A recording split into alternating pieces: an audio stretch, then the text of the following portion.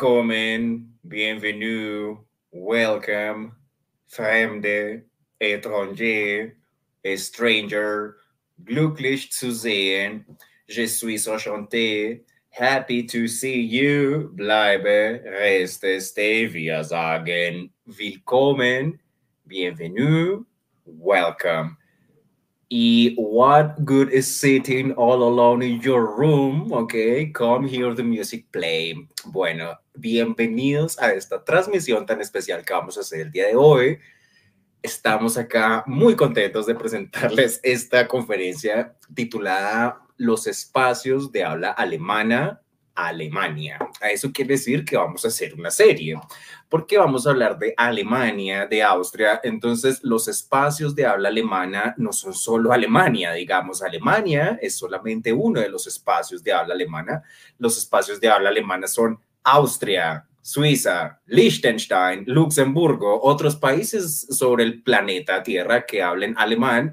Todo eso se llama el espacio de habla alemana, lo que en alemán llamamos der deutsche Sprachraum. Ja, muy bien. Entonces, ese Sprachraum, ese espacio de habla alemana, pues tiene varias, varias formas, por ejemplo, la forma de Alemania, la forma de Austria, la forma de Suiza, en fin.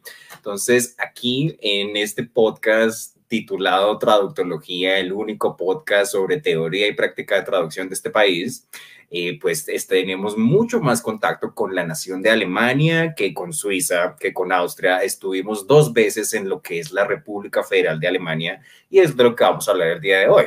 Vamos a preparar, vamos a presentar esta conferencia para ir a presentarla en el instituto donde estamos trabajando eh, en un evento de Ostern, de lo que los alemanes llaman pues la Pascua, la, la Semana Santa, la Karwoche, pues, en fin, en Alemania no solamente hay protestantes, también hay católicos y etcétera. Bueno, pues también celebran Semana Santa. Para ellos, ellos, eh, para eso ya casi va a llegar, ¿cierto? Para Alemania, los alemanes llaman eso Ostern, ¿ya? Entonces, en el contexto de la pandemia, Angela Merkel en 2020 salía diciendo que, que no, que en esta pausa de Ostern, en esta pausa de la Semana Santa, había que quedarse en sus hogares y etcétera. Bueno, eso, ella, Angela Merkel hablaba del Ostern en el momento en el que empezó la pandemia en el año 2020. Bueno, muy bien. empezamos con esta, con esta conferencia, ¿cierto? Entonces ahí vemos mi nombre, dice, bueno, los espacios de habla alemana, eh, Alemania. Vamos a empezar con Alemania, después vamos a hacer a Austria, después vamos a hacer a Suiza, después vamos a hacer Luxemburgo, Liechtenstein. Bueno, entonces, bueno, estamos viendo una foto de los estudiantes de la Escuela de Policía Simón Bolívar en Tuluá, Colombia, en el Valle del Cauca en el año 2021. Entonces allí hay una pregunta, dice, intercambio cultural, pues, o sea, allí vemos a estos chicos, estos policías con banderas de Alemania, sí, con, con, la, con la conocida esvástica nazi, así disfrazados de oficiales nazis, sí, como eh, uno tiene hasta un bigote de Hitler, sí, como si estuviera haciendo una especie de cosplay como si estuviera haciendo una especie de disfraz de los Avengers o algo así. Bueno, entonces nosotros aquí somos tremendamente ligeros con ese tema. Nosotros eso, nosotros nos da risa, nos burlamos de ese tema del nacionalsocialismo y en realidad lo desconocemos. Nosotros no sabríamos muchas cosas de lo que fue el nacionalsocialismo o de lo que no haya sido el nacionalsocialismo. O sea, uno va a ver History Channel y pues History Channel pues son los judíos de Hollywood, eh, es una sola perspectiva de lo que pasó y etcétera. Bueno, pues muy bien, o sea, el, el mundo está obsesionado con el tercer Reich, sí, hemos dicho varias veces que no hay que explicarle a nadie qué es el tercer Reich, ¿no? Todo el mundo lo sabe. Los nazis, Hitler, Ana Frank, todo eso es el tercer Reich pero la noción de tercer Reich, ¿sí? Implica que antes habían otros dos, ¿cierto?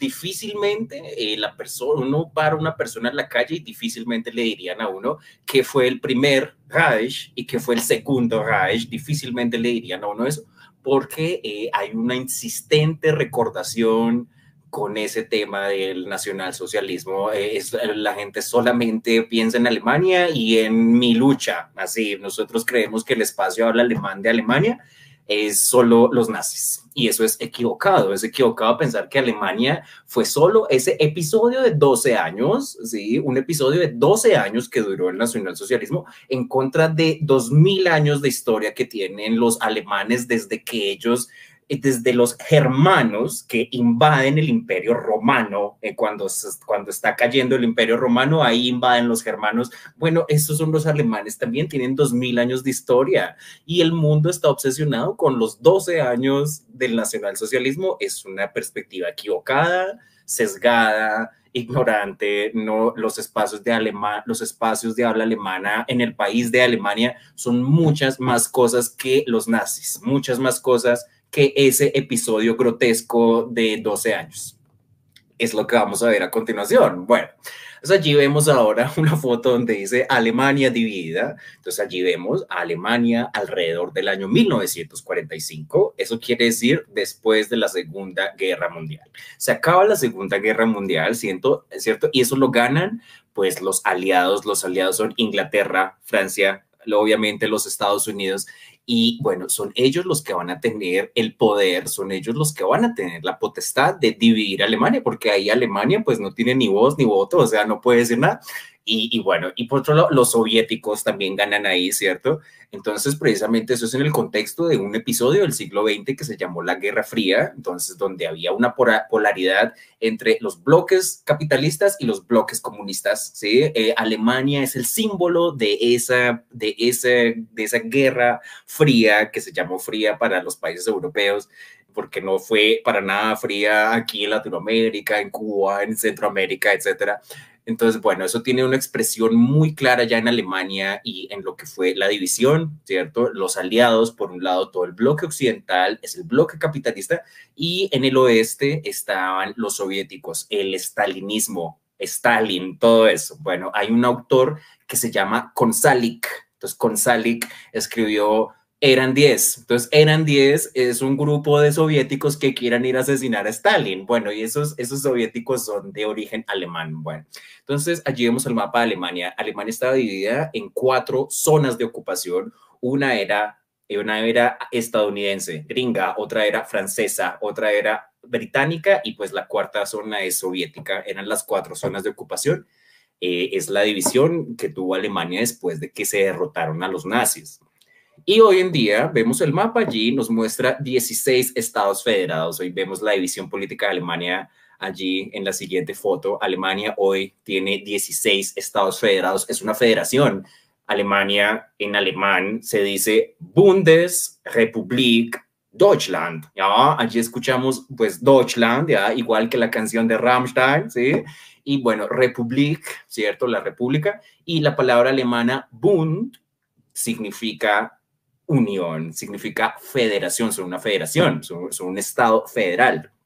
Entonces, ese estado federal se divide en 16 estados federados. Un chiste que yo digo en el podcast es que yo, es aquí en Colombia, la única persona que se sabe los 16 estados federados de memoria soy yo. Bueno, eso aquí es el único. Bueno, entonces esos estados se llaman de la siguiente manera. En el norte encontramos los estados de Schleswig, Holstein y Hamburgo, es lo más norte de Alemania. En el oriente están Mecklenburgo, Pomerania Occidental, Brandenburgo, Berlín, Sajonia, Sajonia-Anhalt, Turingia. Y eso básicamente era la zona soviética, la zona donde estaban los, donde estuvo el estalinismo, donde estaban los soviéticos. Y en el occidente está Baja Sajonia, sí, que yo digo que es mi Baja Sajonia del alma, porque yo viví ahí 10 meses. Bremen, ¿cierto? Eh, las Renanias, Renania del Norte, Westfalia, Renania, Palatinado, el Sarre, que es una cosita así chiquita en la, en la frontera con Alemania y Francia. Y por último está eh, Hesse, ¿sí? ahí en el occidente, que Hesse es donde es Frankfurt, donde queda el aeropuerto de Frankfurt.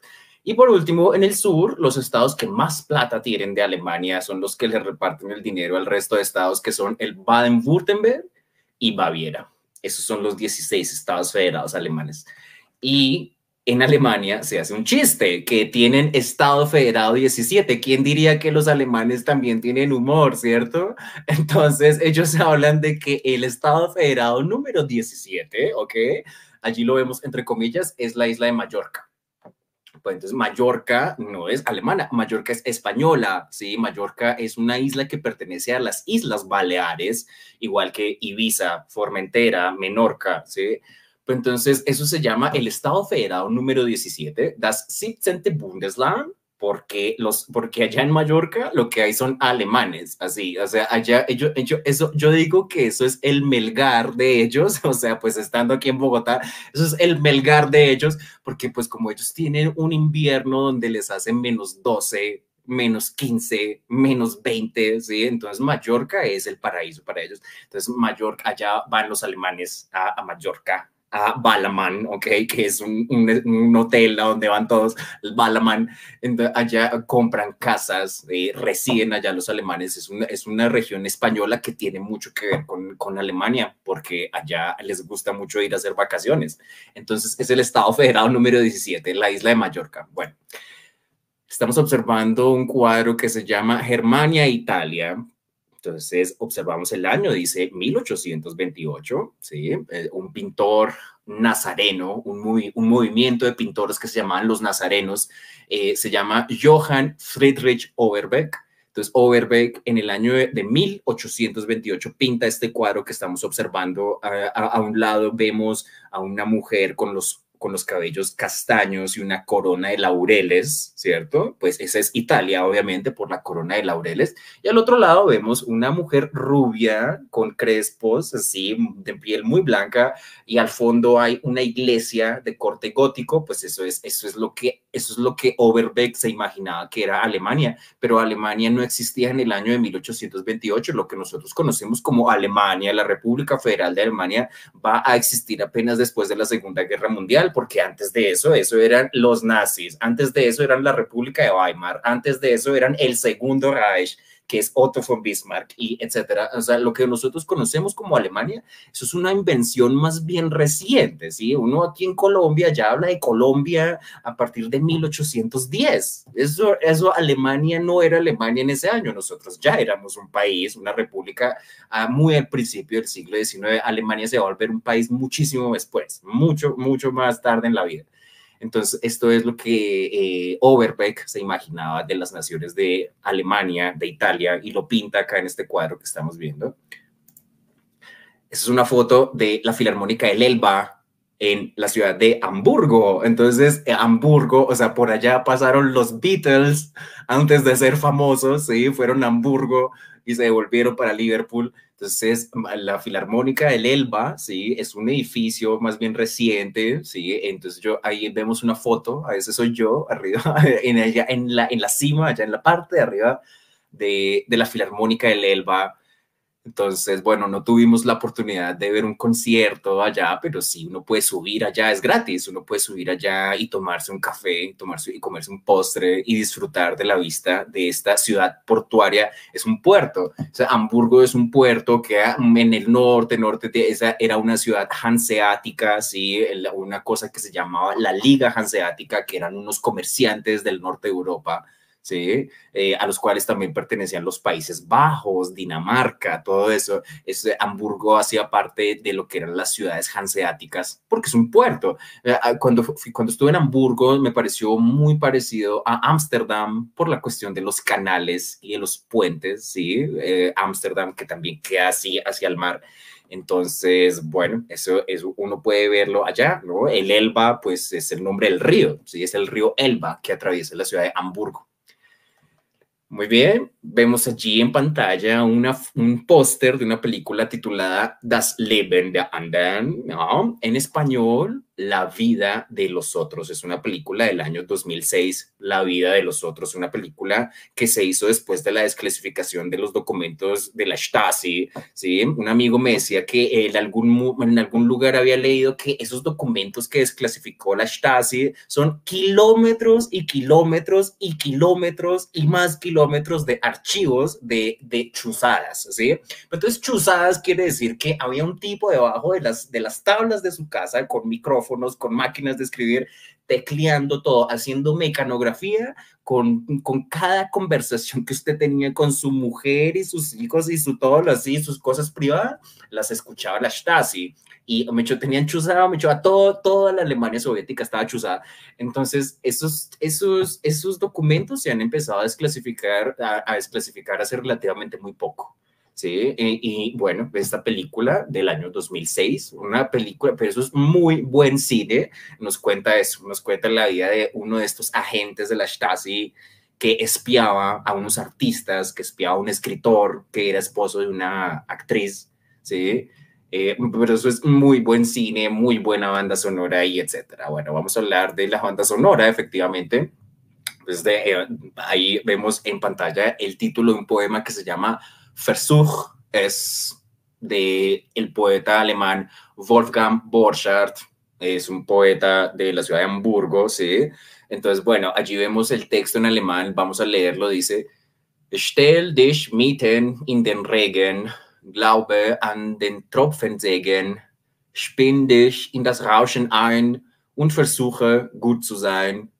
Stell dich mitten in den Wind, glaub an ihn und sei ein Kind, Lass den Sturm in dich hinein und versuche gut zu sein.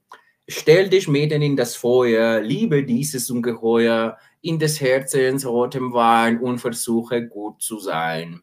Muy bien, allí hay un claro efecto de rima, ¿sí?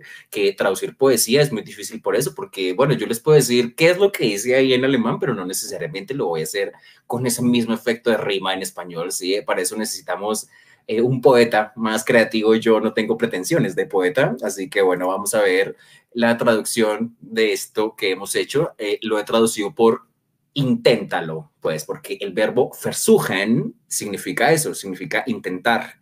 Entonces, por eso es inténtalo. Muy bien. Entonces, en español, este poema dice, hazte en medio de la lluvia, ten fe en sus bendiciones e intenta hacer el bien.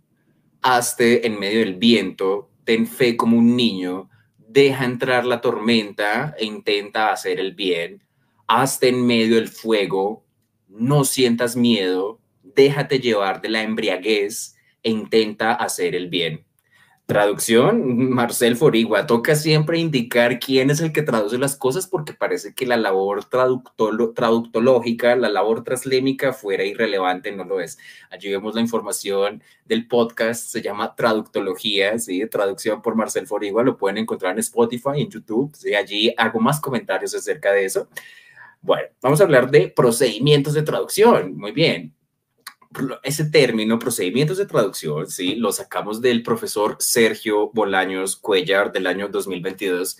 Entonces, cada vez que ustedes le digan, cada vez que ustedes les vayan a decir que traducir no sirve para nada, que la traducción, que el mero acto de traducir es una cosa por allá olvidada de los años 60, así que ya nadie aprende idiomas traduciendo. Bueno, o sea, entonces imagínense, Bolaños hace dos años, en 2022, ¿sí? El profesor Bolaños, allá de la Universidad Nacional, hace dos años publicó un libro titulado Teoría y Práctica de la Traducción. Si la, si la, si la traducción no fuera nada, pues Bolaños no estaría, no estaría publicando libros ahí, no estaría hablándonos de los procedimientos de traducción, de secuencias sintácticas similares, de adiciones, de modulaciones, etc. Entonces allí observamos tres procedimientos eh, en, la, en, la, traducción del título, por lo menos, ¿sí? En, perdón, en la traducción de la primera frase, de la primera línea, que dice, stell dich mitten in den Regen, hazte en medio de la lluvia. El primer procedimiento de traducción que observamos es una secuencia sintáctica similar. Quiere decir que la secuencia, y el orden en el que aparecen los elementos en la frase, son similares tanto en español como en alemán, cosa que es muy extraña porque eso, las, las secuencias sintácticas similares de español a alemán, es muy extraño que eso sea, que eso sea equivalente, porque algo que yo le digo a mis alumnos es que, bueno, usted puede saber que, que, que Guten Morgen es buenos días. Bueno, sí, usted sabe palabras en alemán, pero el asunto no es que usted sepa palabras en alemán, sino que usted sepa las estructuras correctas de las frases, o sea, o cómo va usted a hacer sus frases en alemán y cómo no las va a hacer. Es más bien ese es el problema del alemán. Cuando hablamos español y queremos saber alemán, es cómo, en qué orden pongo mis palabras. Más bien, ese, ese es un problema de sintaxis, más bien. El siguiente procedimiento es una adición Entonces vemos cómo la palabra alemana mitten, ¿ok? Eh, en español se expresa por la expresión, se, se expresa con en medio, ¿sí? Entonces, en alemán tengo mitten, una palabra, y en español tengo en medio, preposición y, bueno, sustantivo, medio. Es una relación, digamos, uno a dos, la palabra mitten en alemán en contra de en medio en español, ¿sí? Entonces, eso Bolaños va a decir que es una adición, estamos adicionando en la preposición en en español, en español es necesario agregarla, en alemán no, en alemán no necesitamos una preposición allí, en español sí se necesita. Y por último, vemos un procedimiento de modulación, eh, otra vez en, con respecto a la, a la preposición de la frase. En alemán vemos la preposición in y en español se ve la preposición de. ¿Ya? Eso, exacto. No necesariamente si veo la preposición e, in en alemán, eso me va a significar en en español. No, aquí vemos que in en, aquí toma la equivalencia de de. ¿sí? Eso podríamos concebirlo como una modulación en el léxico. Muy bien. Allí vemos una foto de Angela Merkel durante la retreta militar de 2021. Es un alemán, se llama el Zapfenstreich. ¿no? La retreta militar, la palabra retreta tiene que ver con retirada. Es cuando uno termina un periodo, cuando uno termina algo muy importante y uh, eso se llama una retreta. Entonces allí vemos a una, a una Angela Merkel muy elegante con un, con un eh, traje negro saludando allí a estos militares alemanes. La están despidiendo porque es la salida del poder de Angela Merkel. 16 años dura Angela Merkel en la Cancillería alemana lo cual es impresionante. Entonces, pues bueno, Angela Merkel, o sea, muchas cosas muy polémicas. Yo estuve en Alemania en el año 2015 y en ese año fue donde más entraron migrantes a Alemania. Entonces, ese año estaban como que todo así muy tenso y cualquier colombiano que quería ser au y cuidar niños lo miraban como si fuera un sirio o un afgano o algo así, porque ese, en ese año entraron muchos migrantes allá. Entonces, bueno, en la gente le dice, no, pues que Angela Merkel con sus políticas de fronteras abiertas no se nos tiró nuestra cultura alemana. En fin, así uno escuchaba a la gente un poco decir eso, la, gente mirando los migrantes en el Mediterráneo diciendo, no, pero tú qué vas a hacer con esta gente? Así un poco eh, las, las, familias alemanas viendo la televisión, viendo cómo se hunden los migrantes en el Mediterráneo y diciendo, mm, no, esta gente qué terrible. En fin, bueno, entonces Angela Merkel, ¿ya? 16 años en la Cancillería aquí estamos observando una grabación de Angela Merkel, donde, bueno, allí ella hace un video, podemos darle, podemos darle clic, podemos darle pausa. No, no podemos dar clic. No, no se le puede dar, no, no se le puede dar play. Bueno, lástima. Eso es un video, un clip, sí, de Angela Merkel haciendo un discurso también en ese año 2021, cuando ella ya va a salir del poder, donde ella cuenta que, ok, ella ya es la canciller alemana, sí, y bueno, que hay, que hay periodistas, gente por ahí escribiendo artículos de prensa que dicen que no, es que Angela Merkel no es original, no es europea original como nosotros. ¿Por qué? Porque es que Angela Merkel es OSI, eso quiere decir que ella es del oeste, ella era de la Alemania comunista, del estado de Mecklenburgo-Pomerania Occidental, donde hay una isla que se llama Rügen. O sea, Rügen es una isla alemana. Entonces, una isla alemana es muy distinta de una isla en Latinoamérica. Bueno, esos son islas de vikingos, de ovejas, de frío, así, de, de marineros, ¿ok?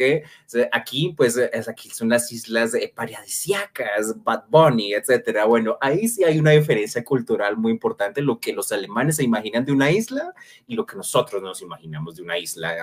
Entonces, bueno, eh, eh, en esa isla de Rügen, en el estado de Mecklenburgo, Pomerania Occidental, fue donde Angela Merkel participó por primera vez en política. Y bueno, ese, ese, está, ese estado es completamente, o sí, del oeste, de lo que era la Alemania soviética. Entonces, como ella viene de ese contexto, los del oeste, los de la Alemania republicana, los de la Alemania donde estaba Estados Unidos, Francia, Inglaterra, entonces le dicen a Merkel, no, pero es que Merkel no es originalmente alemana, ella aprendió a ser, óyeme, pero es que uno es la canciller alemana y un periodista por ahí escribe, no, es que usted no, así. No, pues no le va a pasar eso por ahí a los países de Latinoamérica que intentan llegar allá y hablar ese idioma, pues también nos pasa, ¿eh? que nosotros no somos originales europeos, que no somos de allá. Bueno, ok.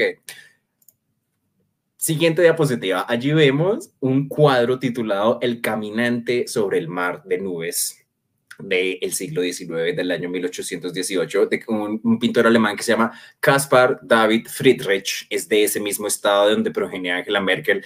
Eh, eh, en, en, esa misma ciudad donde nació este pintor es un futbolista que se llama Cross. Bueno, o sea, así tan banales y tan profundos los alemanes a la vez, muy hegelianos, muy dialécticos. Entonces, este, este cuadro que estamos viendo es una cosa súper importante en el contexto alemán porque eso es el romanticismo alemán, ¿sí? Son los alemanes los que se inventan el concepto de lo romántico, ¿sí? Lo romántico, cuando uno habla de romántico, son, son, son los, los alemanes del siglo XIX pensando en las lenguas romances, por eso romántico, porque entonces son los alemanes pensando en, en poetas latinos, en poesía a español, poesía en español, poesía francesa, en fin. Entonces era un momento de la historia del siglo XIX donde la gente le tenía muchísima fe al progreso. Había una cosa llamada el progreso que nos estaba llevando hacia algún lugar hacia adelante y los, y los, eh, los románticos alemanes dicen, no, no, no, desconfiamos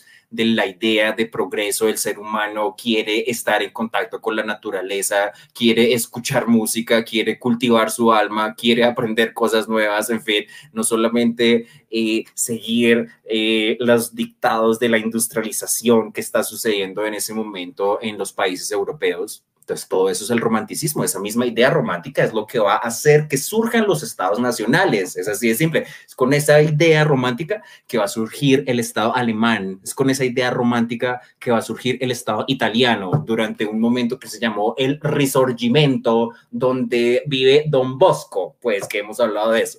Muy bien.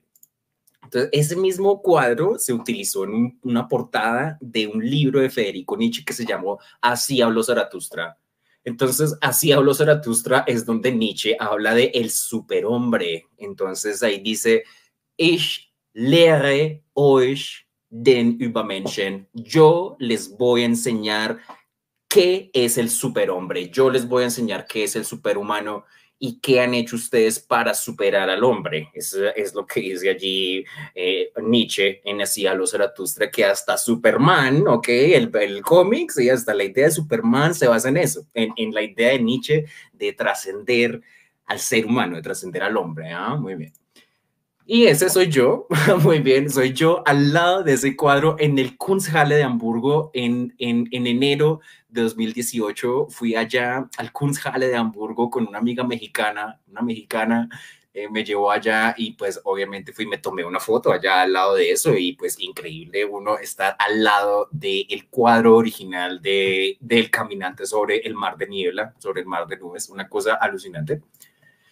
Siguiente diapositiva, vemos allí una ilustración de El Príncipe Feliz, The Happy Prince, ¿ok? El Príncipe Feliz es un cuento de Oscar Wilde, el inglés Oscar Wilde escribió El Príncipe Feliz.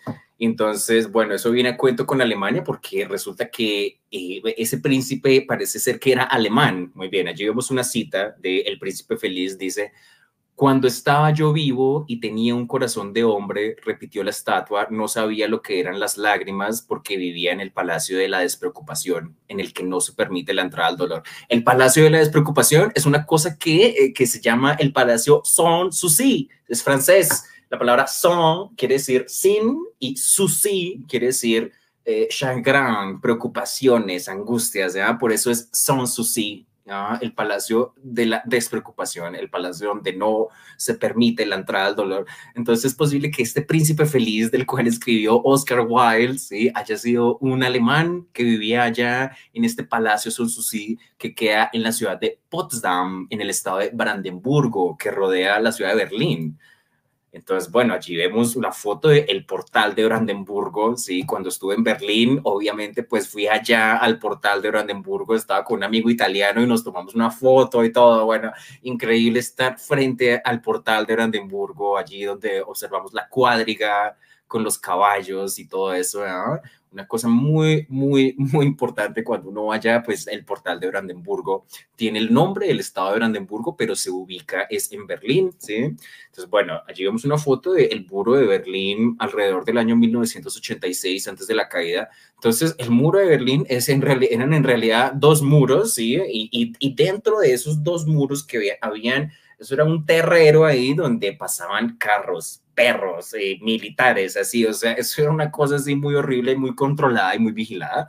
Entonces, eso se construye porque, porque los, los alemanes que estaban en la Alemania soviética, ¿sí? los que estaban bajo la tutela de Stalin, bajo la tutela de los soviéticos, pues les estaba yendo muy mal. Así, y cuando usted le va mal, pues usted quiere que le vaya bien, ¿cierto? Porque sería muy malo de su parte si usted le está yendo mal y usted quiere seguir insistiendo en estar mal. No, la gente normalmente quiere mejorar sus condiciones. Entonces, los alemanes que estaban allá bajo esas condiciones del, del socialismo de los soviéticos querían irse para la Alemania occidental porque la Alemania Occidental tenía que plan Marshall, plata, dólares estadounidenses, y ellos querían eso. Y los soviéticos dijeron, no, no, no, no, no, no, no se van a escapar, los vamos a tener aquí encerrados y les construyen ese muro, ¿ya? para que no se les vayan a escapar al occidente. ¿ya? Y bueno, o sea, duraron como 40 años con eso hasta que se cayó, hasta, hasta que ya por fin dijeron, bueno, ya movilidad, bueno. Y, y hoy en día el muro de Berlín es lo que se llama la East Side Gallery, que pues esto lo volvieron una zona de, turística donde uno puede ver montones y montones de grafitis, ¿sí? Uno, uno de los más conocidos es el Bruderkuss, ¿sí? donde uno ve allí a un político soviético que se llamaba Brezhnev dándose un beso con uno de sus, eh, con uno de sus parlamentarios. Entonces, por eso se llama el Bruderkuss, porque es la palabra alemana Kuss, que significa beso, y la palabra Bruda, que significa hermano. Hay un barrio que se llama Kreuzberg, ¿sí? Entonces en Kreuzberg, pues allá, o sea, uno va y farrea en Kreuzberg y tal. Es, allá se hizo una película que se llama Was tun, wenn es brennt. Was wenn es brennt? Es brennen lassen. ¿Qué hacer en caso de incendio? Nada. Pues, o sea, ¿por qué nada? Porque eso es una historia de unos punks, unos punks alemanes que van y tienen problemas allá. Entonces, eso lo filman allá en Berlín, en Kreuzberg. Si uno puede ver la ciudad de Berlín acá en esta película. Muy bien.